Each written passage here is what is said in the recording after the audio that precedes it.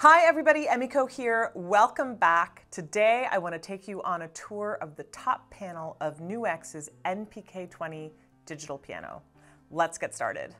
So the first button that we have here is our power on and off button. Next we have a very smooth master volume control and trust me when I say it is very smooth. After that we've got four buttons, dual split, transpose, function, and balance and the dual split and transpose buttons double as octave up and down. Next we have the EQ section. Now this is an onboard three band EQ that actually turns into a nine band EQ, but that explanation will come in another video.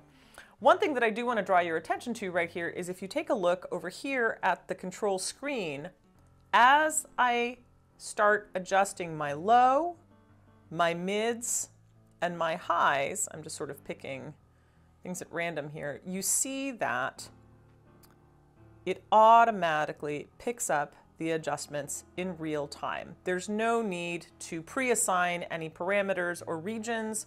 It automatically translates onto the control screen.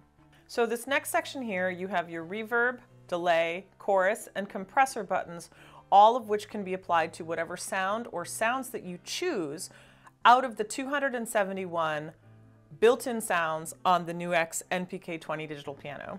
Next, you've got the touch sensitivity button, which I tell you is incredibly effective because with it, it sounds like this.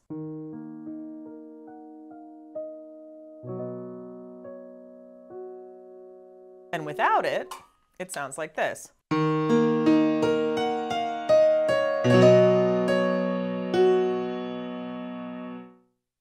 My personal preference is with. After that, you have your metronome button, which is great for anybody that's a student or wanting to practice their skills um, or just play along to something.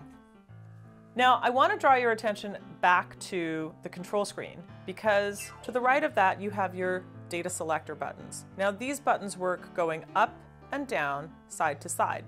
If you go side to side, you jump into different sound groups. So piano, electric piano, organ, orchestral, lead, pad, and other. Now, if you go up and down, within those categories, you can get to sort of the subgrouped sounds, and there are a lot of them. Again, 271 onboard sounds to choose from, and you can absolutely see that you can spend a lot of time going down the rabbit hole here. Next to your data selector, you have the confirm button. After that, you have your demo button, play stop, record, and Bluetooth. Your demo button selections will show up in your control screen, and those are a list of preloaded songs that you can listen to, practice, or play along with. Play and stop obviously plays or stops your selection. Record is great because you can actually record on the NPK20. So if you have song ideas, if you're practicing, this is a great way for you to document your progress in rehearsal, practice, songwriting, whatever. Next to the record button, you've got the Bluetooth button, which is used in combination with Bluetooth audio. So then in this section of the control panel, I'll go from top buttons to bottom. We have preset, these are your shortcuts to piano, electric piano, organ, orchestral, lead, pad, and other, just like you saw on your control screen that you could scroll through with your data selector. Um, one thing that I do want to point out here is that if you were to push two buttons simultaneously, you are able to stack the sounds. Just as a quick example. Then underneath this you have style, which brings up a beat bank single mult, sync start, A and B controls, auto chord, and your in end button. Over here, we have the voice volume and voice reverb knobs respectively.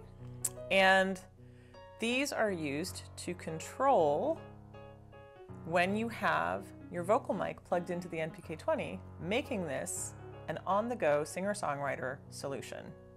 Well, I think that just about covers everything. If you have any questions or you want to share your own NUX experience with us, please feel free to leave a comment in the comment section below wherever you're watching this. Make sure to follow and hit that subscribe button.